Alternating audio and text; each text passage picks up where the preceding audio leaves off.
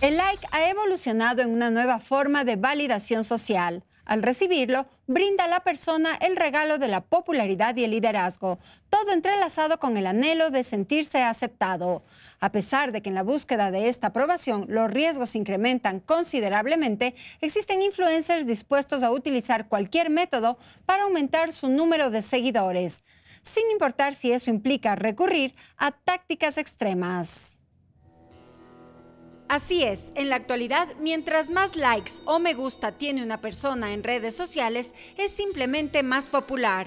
Los expertos afirman que la sensación neuronal que se experimenta al recibir numerosos me gusta es similar a la que se siente al comer chocolate o ganar dinero, y que esta adicción a los likes puede ser tan fuerte como con las drogas. La necesidad de validación social a través de los likes se ha convertido en una norma en todos los niveles de la sociedad. Adolescentes, adultos jóvenes, famosos, líderes de opinión y políticos utilizan los me gusta para medir su popularidad.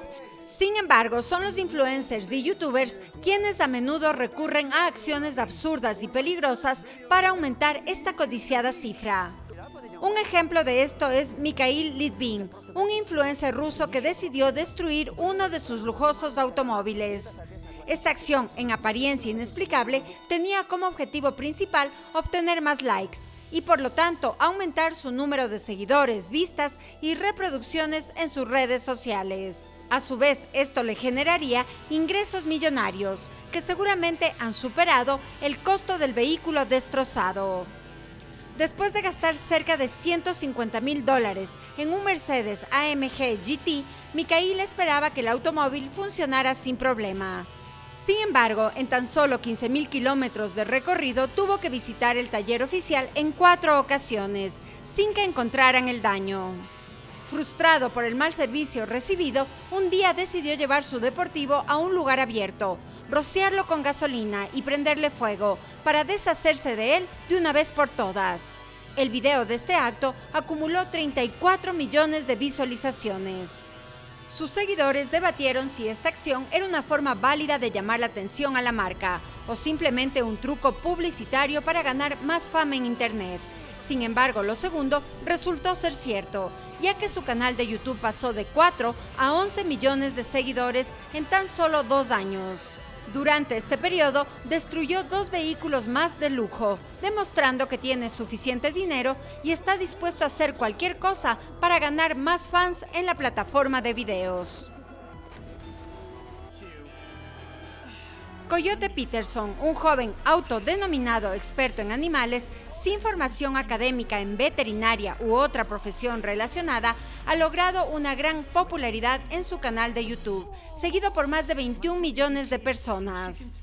Su interés por la vida salvaje comenzó en la infancia, pero su aventura en Internet despegó en 2015, cuando descubrió que la picadura de la hormiga cosechadora era extremadamente dolorosa. En lugar de evitarla, lo tomó como un desafío y colocó sus manos sobre el montículo durante 60 segundos para ver qué sucedía. Desde entonces, Coyote Peterson se ha dejado picar y morder por algunos de los animales más temibles del planeta. Son varios los videos en línea que muestran sus aventuras y valentía. Unos se han vuelto más virales que otros, pero todos encantan.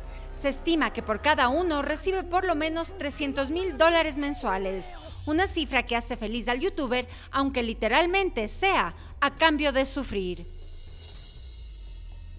Kevin Thomas Strill, conocido en YouTube como la Bestia de Los Ángeles, es famoso por sus videos en los que realiza o consume actividades extremadamente absurdas.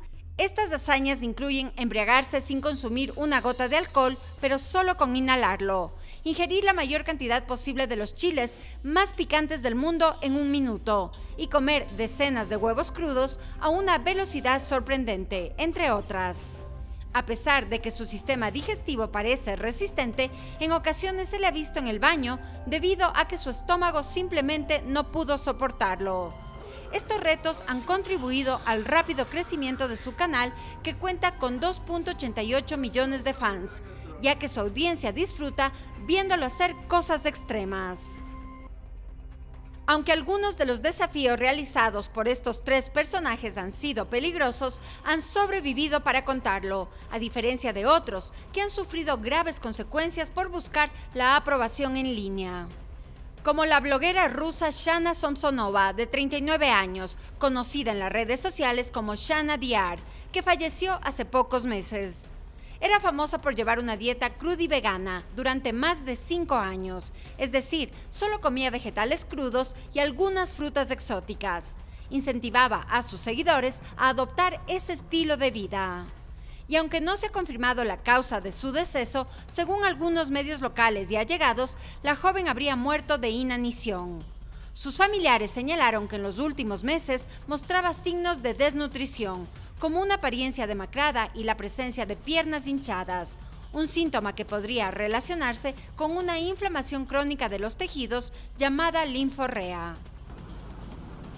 El influencer y creador de contenido Sharad Kumar, de 23 años, también falleció recientemente en un accidente mientras filmaba un video para TikTok en las cataratas de Aran Sinagundi en la India.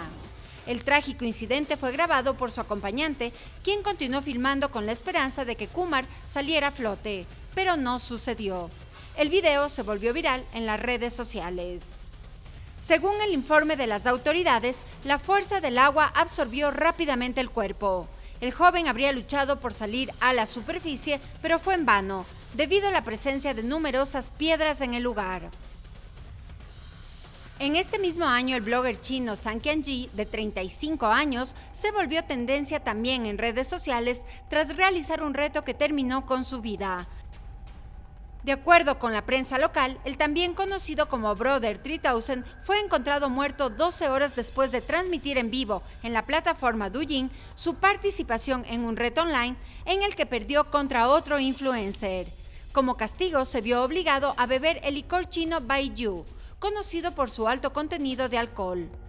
Se estima que ingirió un total de 7 botellas, lo que resultó en una intoxicación etílica fatal.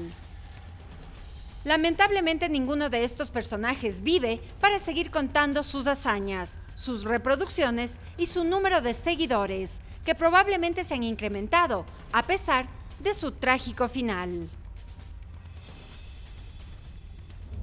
Búscanos en Facebook e Instagram como arroba TV. Visita nuestra página web www.americavive.online Suscríbete a nuestro canal de YouTube y forma parte de las transmisiones en vivo. Diviértete con nuestras aventuras sin límites, porque América Vive está presente más allá de la televisión.